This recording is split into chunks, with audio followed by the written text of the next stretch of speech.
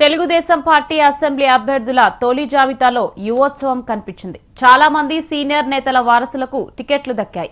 వారసులను కలిపి చూస్తే ఎనభై మూడు మంది సిట్టింగ్ టికెట్లు దక్కించుకున్నారు. ఇక పదిహేను మంది మహిళలకు చోటు లభించింది. టీడీపీ అధినేత చంద్రబాబు నాయుడు విడుదల చేసిన జాబితాలో నూట ఇరవై ఆరు మంది పేర్లున్నాయి. కొంతమంది సిట్టింగ్ నియోజకవర్గాలు మారాయి. ఇక జాబితా విడుదలకు ముందు పోలిట్ బ్యూరో సమావేశంలోనూ జిల్లా పార్టీ అధ్యక్షులతోనూ ముఖ్యమంత్రి చర్చించారు. ఇక మొత్తం మీద అభ్యర్థుల ఎంపిక పార్టీ శ్రేణులకు సంతృప్తినిచ్చింది. ఇక సీనియర్ నేతల కోరిక మేరకు వారి వారసులకు ఈసారి భారీ సంఖ్యలో చంద్రబాబు అవకాశం ఇచ్చారు ఉప ముఖ్యమంత్రి కేఈ కృష్ణమూర్తి స్థానంలో ఆయన కుమారుడు కేఈ శ్యాంబాబు మంత్రి పరిటాల సునీత స్థానంలో ఆమె కుమారుడు శ్రీరామ్ ఇక మాజీ మంత్రి బొజ్జాల గోపాలకృష్ణారెడ్డి స్థానంలో ఆయన కుమారుడు సుధీర్ రెడ్డి గౌతు శ్యామ్ సుందర్ శివాజీ స్థానంలో ఆయన కుమార్తె షిరీషాకు అవకాశం ఇచ్చారు ఇక జలీల్ ఖాన్ స్థానంలో ఆయన కుమార్తె షబానా ఖాన్ ఇటీవల మావోయిస్టుల కాల్పుల్లో మరణించిన ఎమ్మెల్యే కిడారి సర్వేశ్వరరావు స్థానంలో ఆయన కుమారుడు ప్రస్తుతం మంత్రి కిడారి శ్రవణ్ కుమార్ అభ్యర్థిత్వాలు దక్కాయి. ఇక దివంగత గాలి ముద్దు కృష్ణనాయుడు వారసుడు భాను ప్రకాష్కు నగరి స్థానం లభించింది. ఇక మాజీ మంత్రి ప్రస్తుత ఎమ్మెల్యే కిమిడి మృణాలిని స్థానంలో ఆమె కుమారుడు నాగార్జునకు అవకాశమిచ్చారు. ఇక దివంగత మాజీ మంత్రి దేవినేని నెహ్రూ కుమారుడు అవినాష్కు గుడివాడ అభ్యర్థిత్వం దక్కింది. ఇక దివంగత కేంద్ర మాజీ మంత్రి ఎర్రన్నాయుడు కుమార్తె భవానీకు రాజమహేంద్రవరం నగరం స్థానం లభించింది. అదే ఇదే విషయానికి సంబంధించి మరింత సమాచారాన్ని మా ప్రతినిధి శశి అందిస్తారు. శశి చెప్పండి మీ దగ్గర ఉన్న అప్డేట్స్ ఏంటి?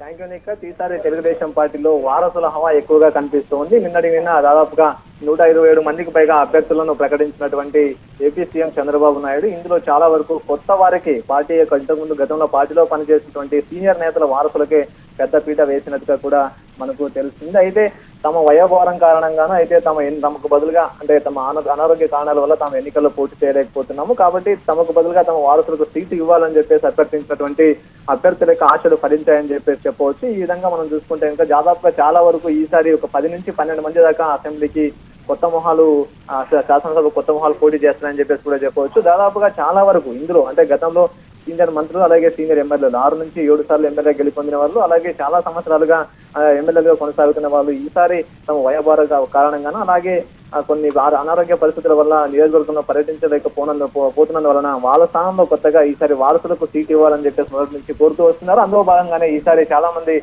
దాదాపుగా పదకొండు మందికి పైగా ఈసారి అభ్య- వారసులకు చంద్రబాబు నాయుడు అవకాశం ఇచ్చినట్టుగా కూడా తెలుస్తుంది. అయితే ఈ యొక్క అవకాశాన్ని ముందుగా అంటే ఈ యొక్క సాంప్రదాయాన్ని ముందుగా ఏపీ సీఎం చంద్రబాబు నాయుడు కొనసాగించారని చెప్పేసి చెప్పవచ్చు. ఈసారి అంటే గతంలో ఎమ్మెల్సీగా పోటీ చేసి ఎమ్మెల్సీగా పోటీ చేసి మంత్రి మంత్రివర్గంలో చోటు సంపాదించినటువంటి లోకేష్ ఈసారి ప్రత్యక్ష రాజకీయాల్లోకి దిగబోతున్నారు. అయితే ప్రత్యక్ష- ప్రత్యక్షంగా ఆ పోటీ చేయబోతున్నారు కూడా. ఈసారి మంగళగిరి నుంచి ఆ లోకేష్ పోటీ చేస్తున్నట్టుగా కూడా మనకు తెలుస్తుంది. అయితే ఇందులో భాగంగానే లోకేష్తో పాటు దాదాపుగా అంటే ఏపీ ఉప ముఖ్యమంత్రి కుమారుడైనటువంటి ఏపీ ఉప ఉప ముఖ్యమంత్రి కేఈ కృష్ణమూర్తి కుమారుడైనటువంటి కేఈ శ్యాంబాబు కూడా ఈసారి ప్రత్యక్ష రాజకీయాల్లోకి అడుగు పెడుతున్నట్టుగా కూడా తెలుస్తుంది. అయితే ఆ కేఈ కృష్ణమూర్తికి అంటే అనారోగ్య కారణాలు అలాగే వయసు మీద పడడంతో ఆయన చాలా వరకు వివిధ నియోజకవర్గంలో అంటే వివిధ సమస్యలు అంటే ఆ నియోజకవర్గంలో పర్యటించలేకపోవడం అలాగే అందరితో కలవలేకపోవడం వల్ల కేఈ శ్యామ్కి ఈసారి అవకాశం కల్పించాలని చెప్పేసి మొదటి నుంచి కోరుతూ వస్తున్నారు. ఆ క్రమంలోనే ఈసారి కేఈ కృష్ణమూర్తిని పక్కన పెట్టి కేఈ శ్యామ్కు ఈసారి పత్తికొండ టికెట్ ఇవ్వడం కూడా జరిగింది. అయితే అదే విధంగా మనం చూసుకుంటే కనుక రాప్తాడు నియోజకవర్గానికి సంబంధించి అయితే ఫలితాల సునీత ప్రస్తుతం రాప్తాడుకు ప్రాతినిధ్యం వహిస్తూ ఉన్నారు.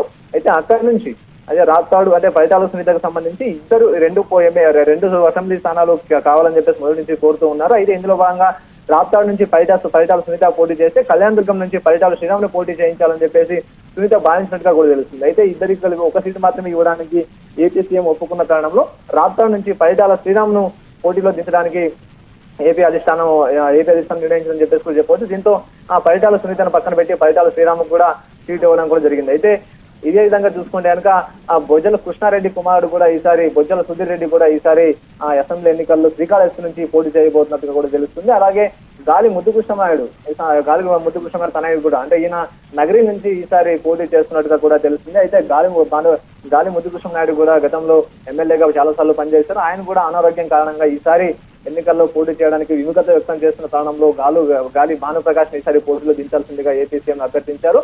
అయితే అందులో భాగంగానే భానుప్రకాష్ ఈసారి ఆ ఎమ్మెల్యేగా పోటీకి దించడానికి చంద్రబాబు కూడా ఆ, కూడా తెలుస్తుంది. అయితే ఇంకో మరో విషయాన్ని మనం చూసుకుంటే సిట్టింగ్ ఎమ్మెల్యే గౌతి శివాజీ కూతురు కూడా ఈసారి ఎమ్మెల్యే ఎమ్మెల్యేగా పోటీ చేయబోతుంది. టీడీపీ తరఫున ఈమె పలాస నుంచి ఈసారి పోటీ చేయబోతుంది. అయితే గౌత శిరీష ఈసారి పలాస నుంచి పోటీ చేయబోతుంది. అలాగే చీపురుపల్లి నుంచి చీపురుపల్లి నుంచి కిమిడి నాగార్జున కూడా ఈసారి ఎమ్మెల్యేగా పోటీ చేయబోతున్నారు. ఈ చీపురు కిమిలి కిమిడి నాగార్జున ప్రస్థానం మనం చూస్తుంది కనుక ఈయన సిట్టింగ్ ఎమ్మెల్యే మృణాలిని కుమారుడుగా కూడా మనం చెప్పుకోవచ్చు. అయితే మృణాలి మృణాలిని గతంలో ఎమ్మెల్యేగా పనిచేశారు. అయితే తన కొడుకు రాజకీయ భవిష్యత్ దృష్ట్యా ఆమె తన ఎమ్మెల్యే పదవిని తన ఎమ్మెల్యే సీట్ని త్యాగం చేసి తన కుమారుడికి ఈసారి సీట్ ఇవ్వాల్సిందిగా ఆమె కోరినట్టుగా కూడా తెలిసింది. అందులో భాగంగా ఏపీ సీఎం చంద్రబాబు నాయుడు కిమిడి నాగార్జునకు ఈసారి సీట్ ఇవ్వడం కూడా జరిగింది. అలాగే ఎర్రన్నాయుడు కుమార్తె ఎర్రనాయుడు కుమార్తె అలాగే ఈసారి ఎన్నికల్లో పోటీ చేస్తున్నట్టు కూడా తెలుస్తుంది. ఈయనకు రాజమండ్రి అర్బన్ నుంచి పోటీ పోటీ చేసేందుకు అవకాశం అయితే కల్పించారు. అయితే రాజమండ్రి అర్బన్ నుంచి ఆదిరెడ్డి భవానీ ఈసారి పోటీ చేసేందుకు సిద్ధంగా ఉన్నారు. అలాగే దేవినేని నెహ్రూ కుమారుడు కూడా ఈసారి ఎన్నికల్లో పోటీకి దిగబోతున్నారు అయితే ఆయన మరణం తర్వాత దేవినేని నెహ్రూ ప్రస్తుతం ఇప్పుడు పో- పోటీకి దిగబోతున్నారు అయితే దేవినేని అవినాష్ ప్రస్తుతం గుడివాడ నుంచి పోటీ చేయబోతున్నారు. అయితే గతంలో దేవినేని నెహ్రూ ఉన్నప్పుడు ఇక్కడ నుంచే పోటీ చేశారు. అయితే ప్రస్తుతం గుడివాడని దేవినేని అవినాష్కు కేటాయించినందుకు కేటాయించినందుకు సీఎం ఒప్పు ఒప్పుకున్నట్లు కూడా తెలుస్తుంది. అలాగే మరో మరో షబానా ఖాతున్ అనే ఆ షబానా ఖాతున్ కూడా ఈసారి విజయవాడ వెస్ట్ నుంచి పోటీ చే పోటీ చేసేందుకు సిద్ధంగా ఉంది. ఈమె కూడా సిట్టింగ్ ఎమ్మెల్యే జలీల్ ఖాన్ కుమార్తె. సిట్టింగ్ ఎమ్మెల్యే జలీల్ ఖాన్ కుమార్తె షబానా ఖాతన్ కూడా ఈసారి గుడివాడ నుంచి విజయ విజయవాడ వెస్ట్ నుంచి పోటీ చేయడానికి సిద్ధంగా ఉంది. ఈ విధంగా మనం చూసుకుంటే కనుక దాదాపుగా పది నుంచి పన్నెండు మంది కొత్త మొహాలు ఈసారి అసెంబ్లీ ఎన్నికల్లో పోటీకి దిగబోతున్నాయి. వీళ్ళందరికీ అంటే వాళ్ళ నాయకుల అభ్యర్థనల దృష్టిలో పెట్టుకుని వాళ్ళ వయోభారాన్ని అలాగే వాళ్ళ అనారోగ్య దృష్టి దృష్టిలో పెట్టుకుని ఏపీ సీఎం చంద్రబాబు నాయుడు వీళ్ళకి సీట్లు కల్పించినట్టుగా కూడా తెలుస్తుంది నీకర్ రైట్ థ్యాంక్ యూ శశి